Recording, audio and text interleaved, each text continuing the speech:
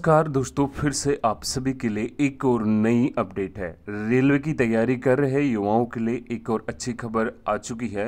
करीबन हज़ारों पदों पे वैकेंसीज हैं। जैसे कि लोको पायलट की बात की गई थी काफ़ी टाइम पहले। लोको पायलट के अंदर काफ़ी अच्छी वैकेंसीज देखने को मिली थी और उनकी वैकेंसीज का फॉर्म अभी भी चल रहा है। अगर आप लोगों ने अभी तक भी फॉर्म सबमिट नहीं करवाया तो करवा सकते हैं। अब मैं आज की वैकेंसी की बात करूँ तो रेलवे भर्ती बोर्ड 2024 ने हाल ही में आर जेई नोटिफिकेशन जारी किया गया है। जिसमें करीबन सात हज़ार नौ सौ इक्यावन पदों पर वैकेंसीज निकाली है, जिसमें जूनियर इंजीनियरिंग से लेके कई ऐसे पद देखने को मिलेंगे जो आप लोग आवेदन कर सकते हैं। सबसे अच्छी बात है कि ये भारत की सभी बोर्डों से निकाली हुई है, सभी जोन से निकली हुई रिक्रूटमेंट है, जिसमें महिला और फीमेल दोनों ही अप्लाई कर सकते हैं। एक शॉर्ट नोटिफिकेशन जारी हुआ है, जिसका 30 सात दो हज़ार चौबीस से लेके 29 आठ दो हज़ार चौबीस तक फॉर्म की जानकारी दे रखी है और डिटेल्स दे रखी है किस तरीके से आप लोगों को फॉर्म सबमिट करवाना है। तो आज मैं इसी के बारे में बात करूँगा। कोई भी डाउट हो तो आप हमें कमेंट कर सकते हैं, इसकी पर्सनल ही जानकारी ले सकते हैं। और नए विद्यार्थी हैं तो इसकी अपडेट लेने के लिए आप हमारे चैनल को सब्सक्राइब भी कर सकते हैं। तो देखिएगा, रेलवे ऑफ़ इंडियन मिनिस्टर यानी कि railway of ministry of railway जिसके अनुसार रेलवे रिक्रूटमेंट बोर्ड यानी कि आरआरबी एस के तहत एक सेंट्रल एम्प्लॉयमेंट नोटिफिकेशन जारी किया गया है। रिक्रूटमेंट है इंजीनियरिंग जिसके अनुसार जूनियर इंजीनियरिंग के अनुसार पोस्टों को रिक्रूट किया गया है। इसमें केमिकल सुपरवाइज़र कई ऐसे पो, पोस्ट हैं जो आप लोगों को देखना होगा। देखिएगा, आवेदन की ओपनिंग की डेट बात की जाए तो 30 सात 2024 से क्लोजिंग डेट अगस्त तक रहने वाली है, यानी कि उनतीस अगस्त तक आप लोग अप्लाई कर देंगे। आज 23 हो चुकी है तो अभी भी आपके पास टाइम है इसको जानने के लिए। इसका अभी पूरा एक नोटिफिकेशन जारी हो गया। शॉर्ट नोटिफिकेशन है जिसमें डिटेल्स दे रखी है। केमिकल सुपरवाइजर की बात करें लेवल सेवन के अनुसार चवालीस हज़ार रुपये सैलरी होगी। अट्ठारह से छत्तीस वर्ष तक का युवक इसमें अप्लाई कर सकते हैं। आरआरबी गोरखपुर ओनली ये जोन है आरआरबी गोरखपुर ओनली के सर जूनियर इंजीनियरिंग जिसके अनुसार लेवल सिक्स के अनुसार पैंतीस हज़ार रुपये सैलरी होगी, अट्ठारह से छत्तीस वर्ष, सात हज़ार नौ सौ चौंतीस वैकेंसीज इसमें दे रखी है।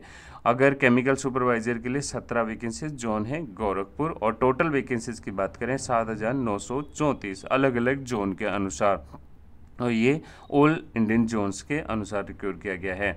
यहाँ पे एजुकेशन क्वालिफिकेशन की बात करें डिफरेंस एजुकेशन क्वालिफिकेशन के अनुसार यहाँ पे पोस्ट फोर्स और यहाँ पे ई सी सी ई सी ई एन के अनुसार नोटिफिकेशन या फिर इसकी कंडीशंस रिक्रूट की गई है।